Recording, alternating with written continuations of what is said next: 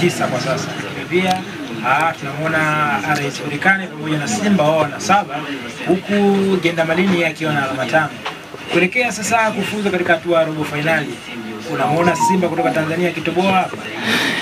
Ah, ki, kimsingi ili kundi li, linaamuliwa na namna ambavyo watu wana, wanapata matokeo nyumbani.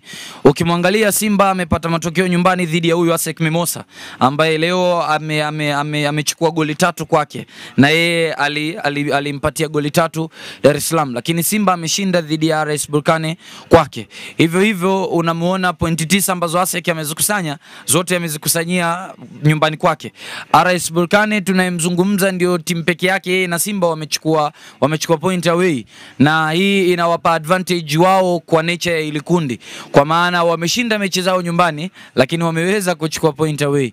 Hii inakwambia kama wanakuwa wanaendeleza ubora wao na kuchukua point nyumbani, kwa maana ya kwamba kama ASEC Mimosa anapoteza eh, pale Estadio de Municipal de Burkan Morocco dhidi ya RS Berkane, hii inakwambia kwamba RS Berkane atakuwa na point kumi, lakini Simba kama atashinda dhidi ya US Gendarmerie Dar es Salaam atakuwa na point kumi.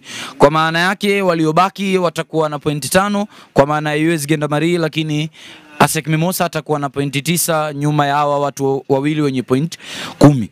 Lakini kama Simba anashinda nyumbani lakini RS Berkane anafungwa dhidi ya ASEC Mimosa. Maana yake ni kwamba ASEC Mimosa watakuwa na jumla ya point 12. Wakati huo wakati huo Simba atakuwa na point kumi waliobaki kwa maana ya RS Berkane kwa point zake saba atakuwa ameshindwa kufuzu kwenda robo fainali pamoja na US Gendarmerie.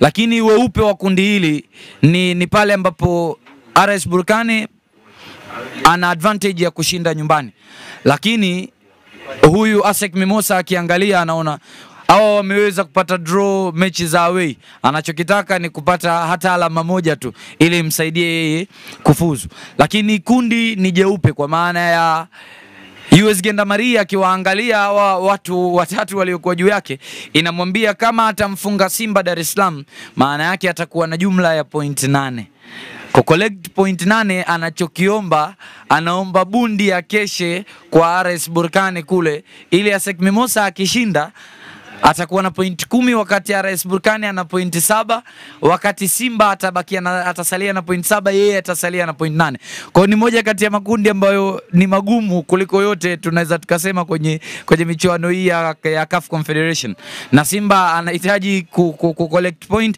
ili ashinde. Tunamuona Simba aki, akienda robo fainali kama atatumia vizuri uwanja wake wa nyumbani. Simba amefanya hivyo kwenye mechi dhidi ya AS Vita ambayo alitakiwa kushinda ili aende akashinda goli mbili moja, lakini Simba alifanya hivyo dhidi ya dhidi ya, ya, ya, ya Wazambia wale Nkane Devils. Simba anatumia advantage ya uwanja wa nyumbani, lakini Simba pia alikusanya alama alama zote.